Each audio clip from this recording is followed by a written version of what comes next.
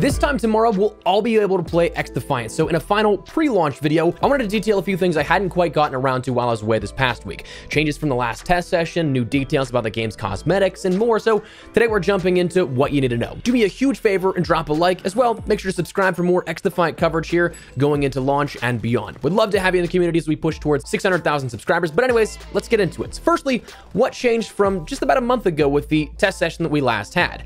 Well, the XDefiant team laid out a bit of the patch notes for what has changed since then. And up front, there's not a whole ton that's like game breaking or game altering things rather, but some things that are definitely worth mentioning. First, some faction updates have been made, or more so fixes. The Echelon faction is going to be back here for launch. In the last test session, we saw that it was taken offline because of an issue with the digital ghillie suit. It would turn players invisible in a bad way, not necessarily the way that it's actually supposed to cloak you, but it just caused an unintended bug where player models were quite literally invisible. So that is back. DedSec Spider Bot ability is also returning. So for the people that love or hate the facehuggers, either way, get ready because it's going to be there for launch.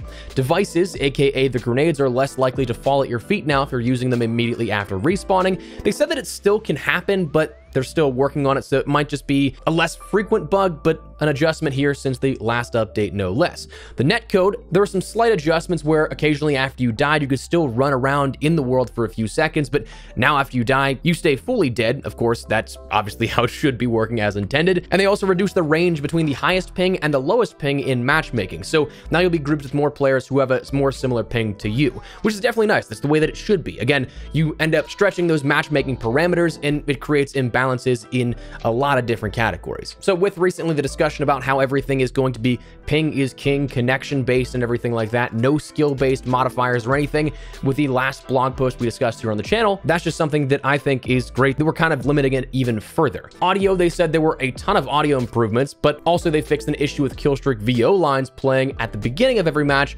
and when you died. That was definitely something that I noticed, but I wasn't sure if it was just me going crazy or not. But then they also fixed a few things with the social menus as well, such as the Xbox players being able to see their friends list as primary friends in game. A few issues where if you suspended the game, you'd have an inability to use some of the social features, and a few other smaller Xbox related items. Big picture, not a whole ton again in regards to gameplay changing or game altering things, but noteworthy things that I think should help the stability and overall feeling of the game.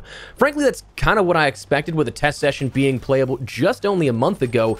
It was more so a demo than anything else. I mean, to end up having to restructure anything in regards to making major gameplay changes from that point to when they wanted to launch. I mean, we've seen it with say COD betas in the past. That stuff is usually just a demo of what's going to be launched because they have to certify it gold and get it ready to go out. While there's no physical versions of the game, that same principle still has to apply where that time to finalize and submit everything has to be taken into account. So you're not going to see a whole ton of gameplay changes as a result. But anyways, some big changes, some again smaller. My biggest thing is that netcode reducing the range between the highest and lowest ping. I think that's probably the biggest part out of that update and fingers crossed it's definitely something that is noticeable that you don't have too many connection issues once the game actually launches. But Next, let's detail some of the microtransaction details, something that was addressed a few days back when I was out of town, but a very, very important mention. In a blog called XDefiant In-Game Purchase Philosophy, they detailed their plans for microtransactions, which from day one was mentioned that it would be there. That's been something that the dev team has been very open, very transparent with,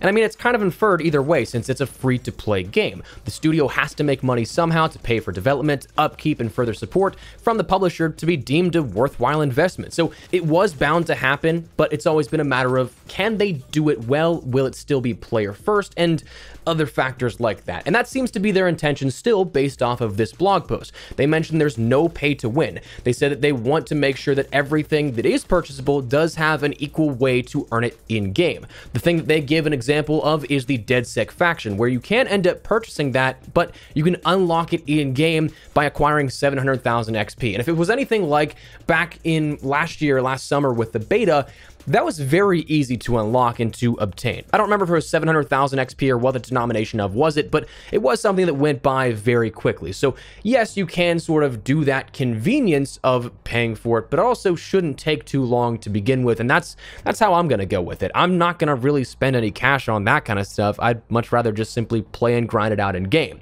They also stated they want to reward players playtime. And that's something that I feel like a lot of games don't really prioritize a lot anymore these days. They stated our goal is to be providing amazing customization options that reward all of the matches, victories, and even defeats that you can put into a game. As you play that one more match, all your time and energy will work towards unlocking content either through the battle pass or challenges. And they detailed some of these things that will be rewarding you for your time are free battle pass rewards, in-game challenges, both daily and weekly, Ubisoft Connect challenges, weapon mastery, they said with regular updates. So I'm curious to see what that means, like if we'll see seasonal updates for more mastery camos and challenges to go along with weapon mastery, or if there's just going to be ever increasing difficulty challenges that maybe they have enough planned that even if you grind a ton, you still won't reach them for months on end.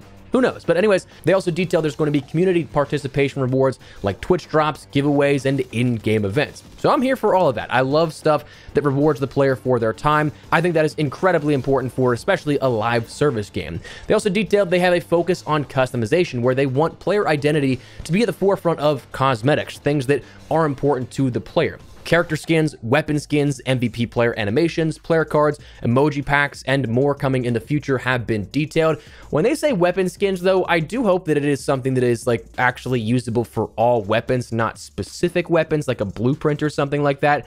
That's just me personally. I would much rather grind out or even in a shop format, pay their denominated X coins or whatever they're going to call it for something that I can use for every single weapon, not just one singular weapon. But we'll see how that works in time. And they said also finally that it's going to be something that they are receptive to feedback, to ideas of the community, and that they're going to be evaluating it over time. Stated, like we said, we know this is an important topic, a topic that demands reflection and evaluation. As XDefiant progresses, we will be listening to your feedback as well as player surveys and in-game player data, constantly evaluating to make sure we are providing fair and engaging customization options.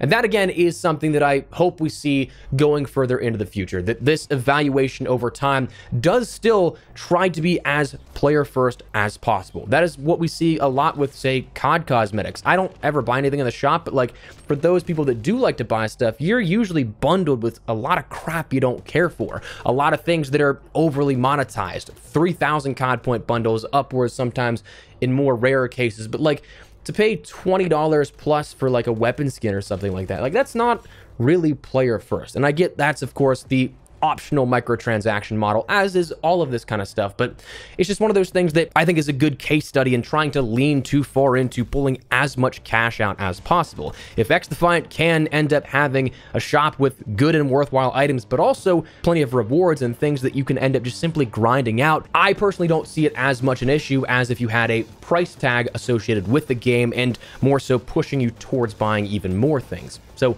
again, it is a very fine line to try and balance, and it's one of those things that we'll just have to wait and see. But this time tomorrow, we should have our first looks at what all is going to be upcoming here. So that is where we're going to wrap it up. Just want to fill you guys in on this information here, again, as a part of our final pre-launch video here for XDefiant. But that is where we're going to wrap it up. Before we do, though, make sure to check out my friends over at Gamer Advantage for what I firmly believe are the best blue light glasses on the market. I've worked with these guys for three years now and cannot recommend them enough. The most lightweight, comfortable, and durable frames on the market as far as I've used, and I definitely think they've helped my daily productivity. Now, full transparency, they're a bit more of an investment, but I do think your vision is absolutely worth investing into, especially if you're like me, you're looking at a monitor, phone, or you're gaming for a good chunk of your day, which, if you're looking forward to XDefiant, might be you in the upcoming days. If you guys would like to learn more, at the very least, I'd recommend checking out their website where they can better break down the science and all the specifics way better than I could, but what I can personally say is I'd highly recommend them. So if you'd like to learn more, check the link in the description below. And if you want to pick something up for yourself, use code Espresso to get 10% off your entire order. But for now, that's what we're going to call it. Let me know your thoughts down below. What do you guys think of the changes, the microtransactions, and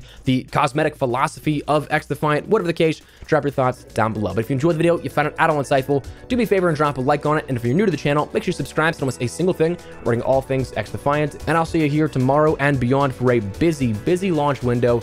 Looking forward to it though. So take care and peace.